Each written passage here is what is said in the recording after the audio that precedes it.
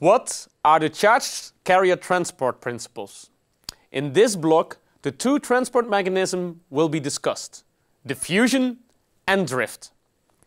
We will discuss that for net movement of charge carriers, either a concentration gradient is required or an electric field is required. Let's consider a free gas of particles at a temperature larger than the absolute zero. In case of a free electron gas, these particles are electrons. The particles have kinetic energy and can move around freely. All particles move around in a so-called random walk.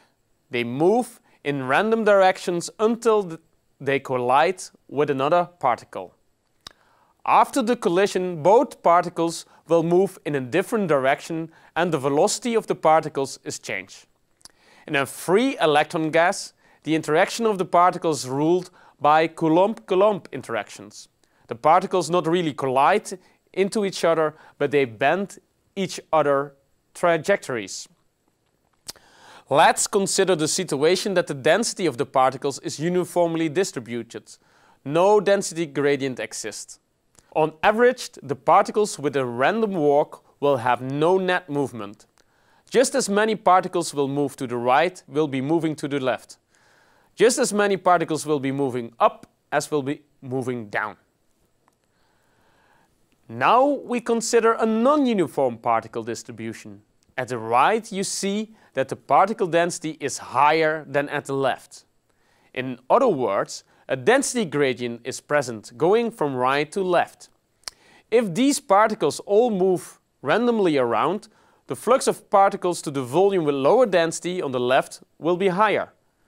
The flux of particles to the volume with higher density on the right will be smaller. There will be a net movement of particles until the density is uniformly distributed. In the current situation, the density is uniform. No gradient exists, so there's no net movement of particles due to diffusion. The net movement of particles induced by density gradients is called diffusion. It can be described by Fick's law of diffusion. Je is in this case is the electron current density expressed in current per area. Q is the elementary charge. D is the diffusion coefficient of the electrons and dn dx represents the density gradient in direction x. Diffusion of electrons results in a net movement of electrons to the location with lower electron densities. Diffusion will be present as long as there is a density gradient. The same equation is valid for holes. Diffusion of holes results in a net movement of holes to the location with lower hole densities. Now we move to the second transport mechanism, which is called drift. Charged particles, like electrons and hole, can also be moved under influence of electric field. Let's consider an electric field which points to the left. If a positively charged hole is positioned in this electric field, it will experience an electric force in the direction of the electric field, so in this case to the left. Consequently, it will start moving in that direction. A negatively charged electron will experience a force in the opposite direction of the electric field. The electron will start moving to the right. The current density induced by an electric field is given by the product of the density of electrons n, the electron charge q, the mobility con constant mu, and the electric field E. Similar, the hole current density induced by an electric field is given by the product of the density of holes P, the electron charge Q, the mobility constant mu, and the electric field E.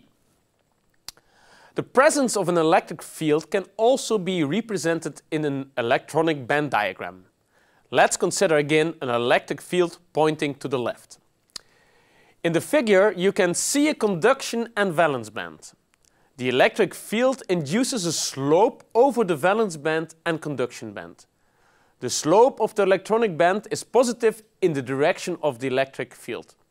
It is important to remember that the excited electrons in the conduction band will on average always move down the slope of the conduction band when a slope is present.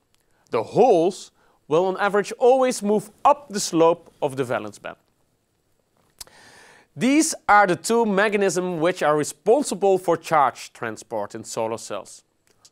Holes and electrons have net movements due to either a density gradient, which we call diffusion, or an electric field. In the previous block, we discussed that we can excite electrons and holes by absorption of light. However, holes and electrons also suffer from loss mechanism. If an excited electron and hole meet each other, they are able to recombine. They join each other and lose their mobile states, or in other words, the electron is glued again to the background in a molecular orbital. We can distinguish three types of recombination mechanisms. The first one is radiative recombination. An electron and hole recombine together. The energy released is sent out in the form of a photon.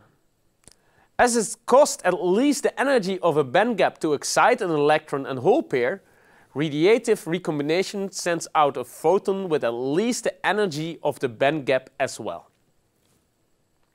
The second recombination mechanism is Auger recombination.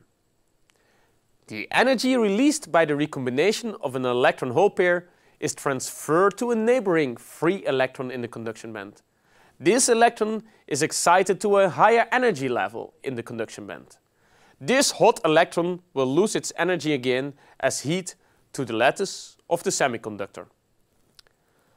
The third recombination mechanism is Shockley-Read-Hall recombination. Semiconductor materials can have various types of defects in the lattice. These defects can have energy states in the forbidden band gap like we have seen for donor and acceptor states in the case of doping. An electron can be trapped in such defect state. If then freely moving around holes can find these trapped electrons, they can recombine as well. The loss mechanism, like recombination, determines the lifetime of the charge carriers. If the recombination rate is high, the lifetime of ch charge carriers is low. The diffusion length, L, is the average distance the excited charge carriers can move around and is determined by the lifetime of the charge carriers.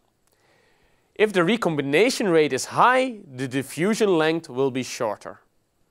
When the recombination rate is low, the diffusion length will be longer. The diffusion length and the lifetime are related with a relatively simple equation.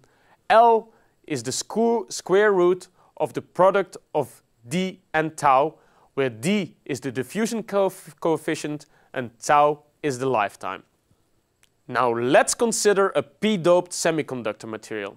The holes, the blue dots, are the majority charge carriers and the electrons, the red dots, are the minority charge carriers.